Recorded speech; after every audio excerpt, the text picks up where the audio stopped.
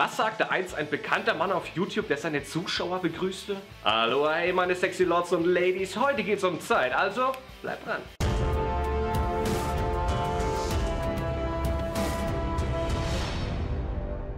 Den Gamern unter euch dürfte es ziemlich vertraut vorkommen, wenn man beim Zocken komplett die Zeit vergisst. Während man auf die Tasten hämmert, diese malträtiert und die komplette Aufmerksamkeit auf den Bildschirm gerichtet hat, ja, kann es passieren, dass Situationen wie diese zum Beispiel passieren. So.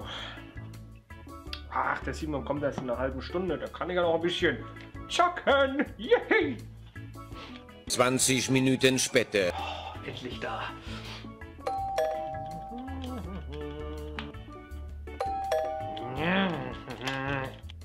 Ich bin doch pünktlich, warum ist er nicht da? Naja, vielleicht kommt er gleich. Ah. Zwei Stunden später. Drei Stunden später. So viel später, dass es dem alten Erzähler zu blöd wurde und man einen neuen anstellen musste. Ja, ja, komm, komm, komm. Yes, wuhu, endlich geschafft. Fuck, ey. Puh, wie schön. Geil. Oh, der müsste doch schon längst da sein. Hat's geklingelt? Ja, mal schauen. Lieber Gott, wenn ich das überlebe, ich verspreche dir. Ach, Hey, da bist du ja endlich. Ich hoffe, du wartest noch nicht so lange auf mich, oder? Nicht so lange. Ich warte hier schon seit elf Stunden auf dich. Ups.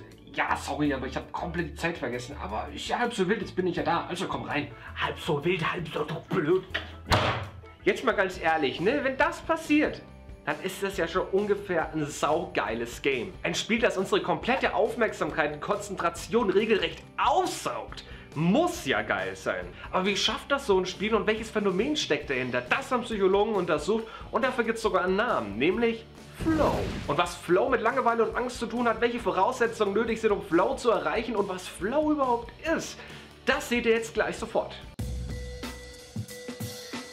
Flow haben bereits 1970 Psychologen untersucht, bei dem man herausfand, dass die Skills einer Person sowie auch die Schwierigkeit eines Games miteinander interagieren, sodass am Ende verschiedene emotionale und kognitive Reaktionen die Folge sind. In einer Grafik dürfte es aber durchaus verständlicher sein, und zwar, eine Frau darf ein wenig verrückt sein, wenn sie im gleichen Maße heiß ist. Wenn sie so irre ist, äh, nee, Moment, das war was anderes.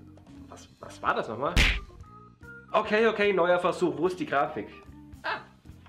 Wenn die Skills eines Spielers quasi zu schlecht sind und die Aufgabe im Spiel einfach zu schwer, dann bekommen Menschen Angst. Sozusagen Angst. Aber alternativ heißt es auch, wenn die Aufgabe zu leicht ist und die Fähigkeit einfach zu hoch ist, also das Spiel komplett zu leicht ist für einen, dann wird Menschen langweilig. Aber wenn man in der Mitte ist und die Fähigkeiten eben zum Schwierigkeitsgrad des Spiels passen, dann kann Flow entstehen. Aber wodurch definiert sich Flow und was passiert mit uns, wenn wir in dem Flow-Zustand sind? Naja, als allererstes sind wir extrem fokussiert auf das, was im Computerspiel passiert. Während wir Flow erleben, haben wir das Gefühl, bewusst und aktiv die Kontrolle über irgendetwas zu haben. Jetzt habe ich dich. Wie willst du jetzt da rauskommen? Unsere Handlung und unser Bewusstsein verschmelzen komplett ineinander, sodass während dem Zocken schon mal die Gesichtszüge extrem entgleiten können. Man vergisst für einen gewissen Zeitraum seine alltäglichen Sorgen und verliert sogar das Bewusstsein für sich selbst. Wie am Anfang des Videos kommt es eben auch vor, dass man komplett das Zeitgefühl verliert. Und das, was im Game passiert, wird zum Rechtfertigungsgrund, warum wir das Spiel jetzt weiter spielen müssen. Hey, mach mal die Tür auf. Gruß Simon. Nein, ich kann jetzt nicht. Ich muss das Level noch fertig machen, Mann. Die erste Voraussetzung ist, dass wir konkrete Ziele und Regeln brauchen, wie wir bestimmte Techniken im Spiel anwenden müssen und wie wir Ziele eben erreichen. Ist ja auch ganz klar, wenn man nicht weiß, was die Ziele von einem Spiel sind, beziehungsweise wie man diese erreicht, pff, warum sollte man das dann überhaupt spielen? Hä? Hä? Die zweite Voraussetzung, um Flow zu erleben, ist, dass die Ziele auch zu den Fähigkeiten von Spielern passen müssen. Wenn Gamer nämlich nicht in der Lage sind, Ziele zu erreichen, obwohl sie die Ziele und Regeln kennen, dann heißt es nichts Gutes für das Spielerleben. Die dritte Voraussetzung ist, dass man korrektes, klares und vor allem richtig getimtes Feedback vom Spiel bekommt. Man muss wissen, war das, was ich jetzt gemacht habe, richtig? Oder brauche ich genau diesen Gegenstand für mein Inventar? Oder was muss ich jetzt machen, um ein gewisses Achievement zu bekommen? Die vierte Voraussetzung ist aber auch sehr wichtig und zwar müssen wir uns von Dingen, die uns ablenken können, die unser Spielerleben stören können, davon müssen wir uns irgendwie abschirmen können. Das heißt, man macht am besten das Handy aus, man schmeißt seine Katze aus dem Haus und sperrt die Mutter in den Keller. Oh ja. Yeah.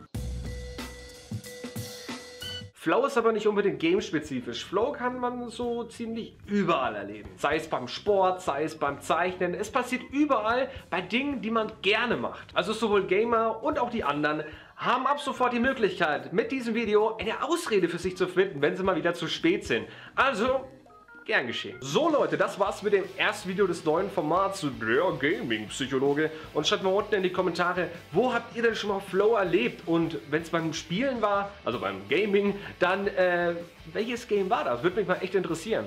Und wenn ihr das Video bis jetzt ausgehalten habt, dann habt ihr offiziell von mir das Achievement, dass ihr es auch tatsächlich bis hierher geschafft habt. Und durch dieses Achievement seid ihr äh, äh, befähigt, diese Videos jetzt noch anzuschauen und zumal diesen Kanal zu abonnieren. Ist das nicht großartig? Oh mein Gott. Naja, ich wünsche euch noch einen geilen Tag hier auf YouTube. Macht's gut, haut's rein und tschüss. tschüss.